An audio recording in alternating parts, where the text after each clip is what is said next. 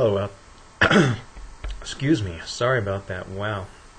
Uh, hello out there to my fellow mate drinking friends.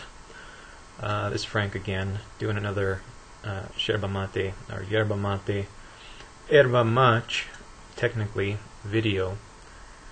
Today it's very snowy outside. Um, technically, actually, it's not snowing today, but there is plenty of snow still on the ground because it's only in the 20s and uh, last couple days it snowed off and on most of the day and today it's still very cold and windy.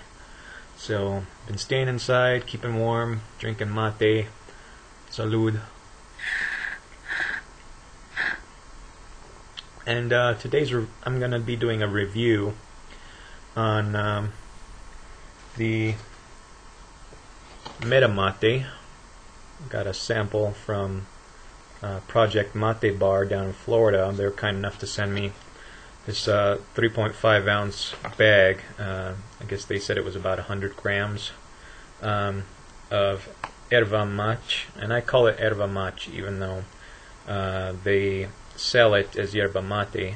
Um, it's the same plant, just pronounced differently, and uh, usually called erva mach in uh, Brazil, where they speak primarily Portuguese and Argentina and those other countries they call it yerba mate or if they they might have different pronunciations in it in different countries.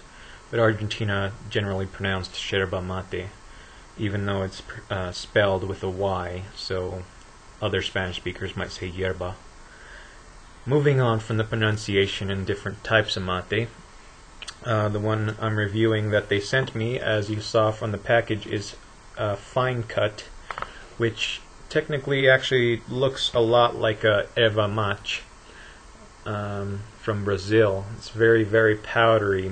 It's mostly powder. Uh, kind of maybe see there in the camera. Doesn't focus real well when I get up too close. But uh, it's sort of a bright green, not super bright. Uh, the mate on the uh, on my left, maybe your right, is uh, a little um, darker since it's been wet already with some water and I've only had a couple of small gourds so far from this. Um, before making this one gourd I had only tried a little bit with the French press. Uh, I made about a cup, maybe a cup and a half in a small French press that I have. I actually gave to my dad recently so he can make some mate with a French press uh, if he likes. Uh, um, that's a different story. But uh, this one is sort of a darker green. Um, you could probably see a little better here. Let me get in this bowl. Uh, you can probably see there on the top of the pile there's a, a monster palo, as Dave Monte likes to call them. It's a very large stick or twig. Right there you can see how it's pretty large.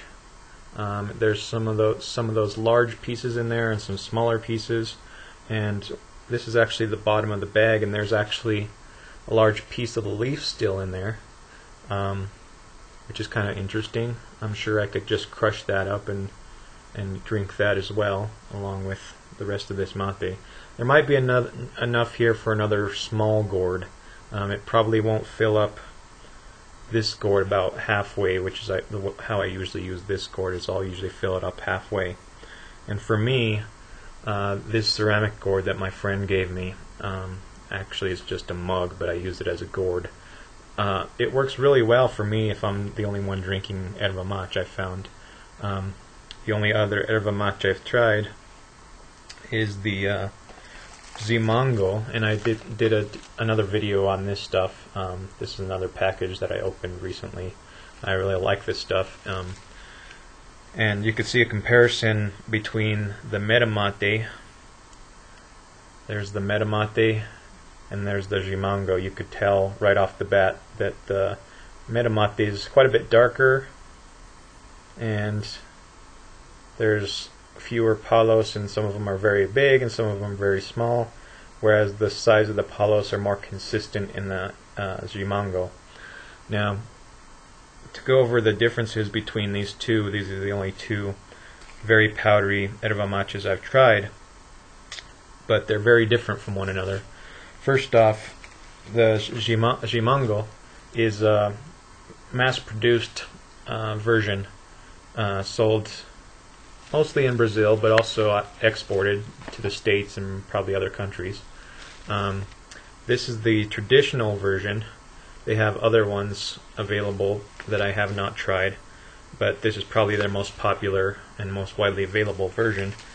And um, it's pretty clean tasting. It's not real smoky, kind of grassy tasting. Has a real nice scent to it. I like it a lot. I'm not big on the really smoky or ashy flavored montes out there. Now the Meta Mate, on the other hand, um, it says right on the package there, um, fresh and harvested directly from primeval forest deep in the south of Brazil. Our small, small-scale traditional production is based on knowledge from the Guarani tribe, a Guarani tribe.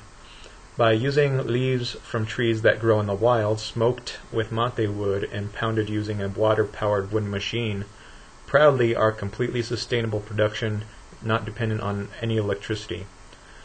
Metamate is not certified organic, but does meet the required standards for bio, fair trade, and goes far beyond. So, um, as obviously stated there, it's not officially certified organic, but uh, their practices are organic practices uh, or bio, whatever that means. I don't know if that's a regional uh, certification in Brazil for uh, organic, quote unquote, organic uh, foods and uh, beverage uh, plants and whatnot. Um, but fair trade should be well aware of what that is. If not, there's other information out there on fair trade. Basically, they treat the workers fairly and pay them well, relatively well compared to non-fair trade workers. Um, you know, provide them with health care assistance and things like that. So anyway, um, it's been seven minutes already, and I haven't really gotten much to the actual mate itself, uh, which I will go ahead and do. Just a little bit more info on how I'm trying this out. This is a ceramic gourd, so there's no flavor from the gourd itself. I'm using a stainless steel bombicha. Uh, it's fairly fine holes in it. Um, and my water temperature here in my thermos is about 165 degrees Fahrenheit. Uh, sorry, I don't know off the bat what that is in Celsius and for sake of time savings, I'm not going to look it up. You can figure out yourself. 165 degrees Celsius. I actually measured it for the sake of this review. Now, I did send them an email back and forth, and uh, they were kind enough to send me this um, sample uh, free of charge um, in order to give it a try, and I told them I would do a review of it, so here's the review. Uh, but I had some questions for them, and uh, they said the smoky flavor is due to the traditional roasting process. So, yes, this has been roasted in a manner of speaking. It's smoked using sustainable wood from trees that grow in the forest where yerba mate is harvested. Um, have a completely different taste than anything else you have ever tried because our process uses no industrial machinery in production. From the harvest to the drying and roasting, our method is 100% sustainable and the closest you will get to the ancient indigenous Guarani method. It's also the freshest, freshest available according to Project Mate Bar, freshest available in the U.S. Um, industrial packaged yerba is stored in warehouses uh, at least six months, sometimes even up to 18 months. Uh, I don't know if that's the case with all um, mates, including erva mates, um, like Chimango, but um, it looks pretty fresh and it's vacuum sealed. Um, but um, this uh, Metamate, this particular bag says it was harvested in February of 2013, so it is really fresh, and it says to keep refrigerated. Uh, they have a grandma's traditional recipe on here. Says um, over a half teaspoon of metamate, pour 1 liter, 34 ounces of hot water. Steep for at least 10 minutes, strain and serve hot or cold. Now, that's probably a good method for brewing metamate um, for a few reasons. At least this blend, the very fine cut. First off, it is quite pricey, uh, probably in, due in large part to the organic practices, fair trade, and small scale production. Uh, not to mention, of course, their traditional method of production itself using no electricity. Um, so if you want to buy some of this, it's it's pretty good mate. It's just very smoky or roasted tasting, kind of like uh, I would describe it as maybe like a roasted meat, roasted like or smoked like bacon almost flavor, but it's not meat because obviously there's no meat involved, but it has that sort of smoky smokiness to it. It's quite pleasant if you like s- smoked foods like smoked meat or maybe like uh, dried uh, beef jerky or other types of jerky that have been smoked for a fair period of time. That's kind of the same sort of taste it has to it, but it still has that sort of grassy undertone flavor that mate has.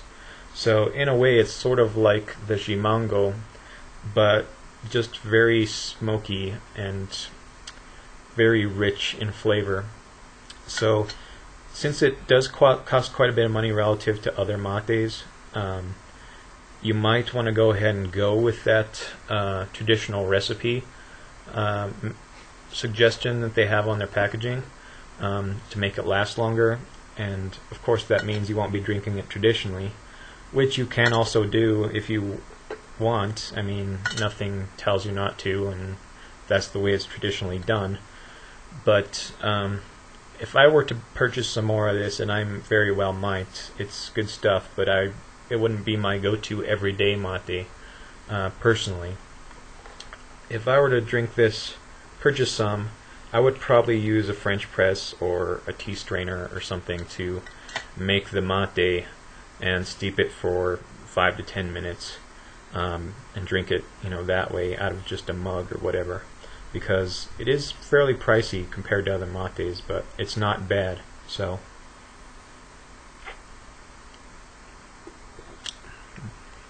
yeah, pretty good.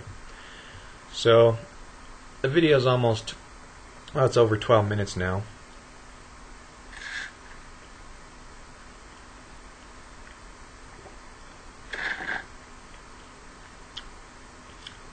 Pretty good.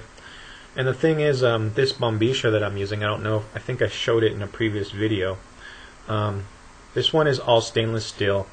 Um, it's a Siemensagio I don't know if that's pronounced right.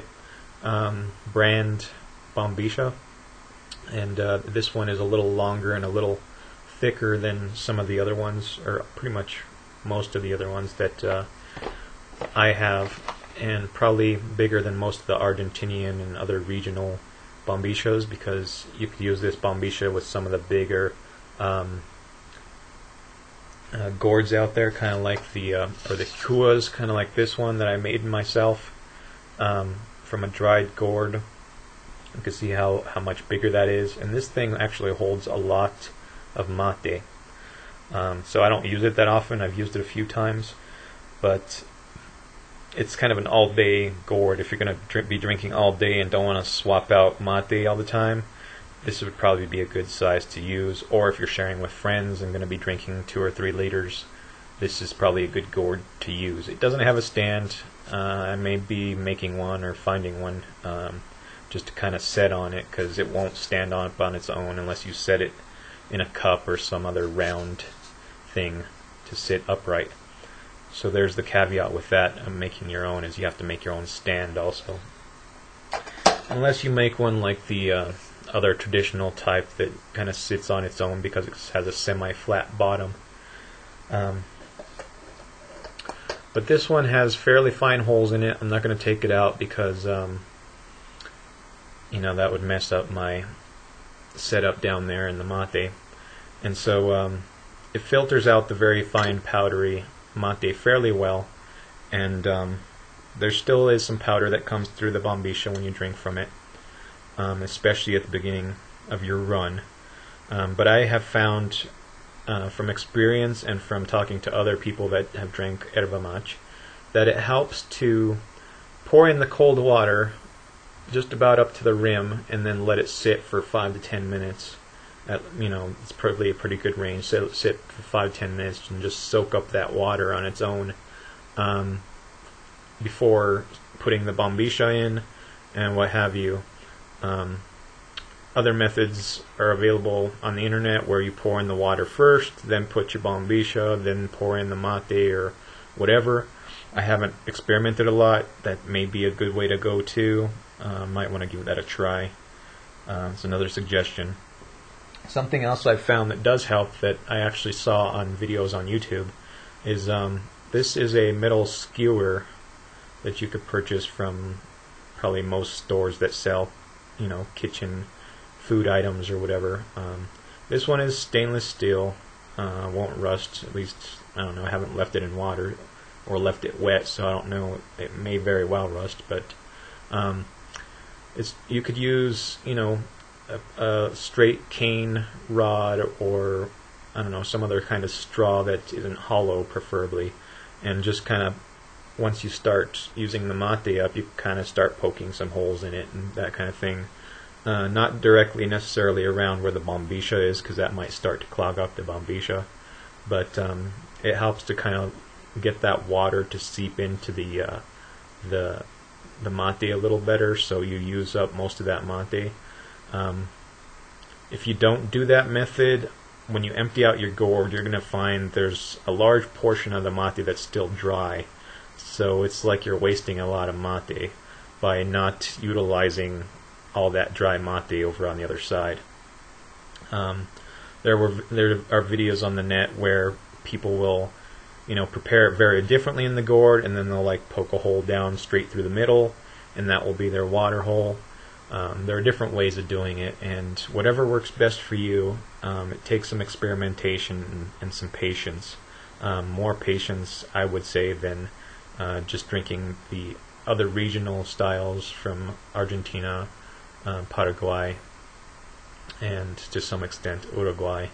Although Uruguay, I think they usually uh, have the gaucho style, as Dave Mate has termed it, which are not as powdery as this, but still fairly fine cut, like Canarias is a real popular one. Um, it's grown in Brazil, but it's really popular in Uruguay, I believe. Um, so that's the review, more or less. The video is almost 17 and a half minutes, which is about standard for my review videos. So um, I'm just going to enjoy my erva mate here. Um, I do recommend it, but it is fairly high priced. Um, it is very smoky, so if you're averse to that smoky flavor, uh, I wouldn't call it ashy, just smoky. Uh, if you're averse to that flavor, may not be your thing. If you could deal with it, give it a try. It's worth it. And they do have sustainable practices, um, Project Mate Bar or Meta Mate, with their no electric no electricity means of production and all that. They're good people, so I recommend it. If you have any questions, please leave me some comments down in the section, or uh, check me out on Facebook, Google Plus. Uh, the links for those pages um, are in my YouTube profile, so give that a check out.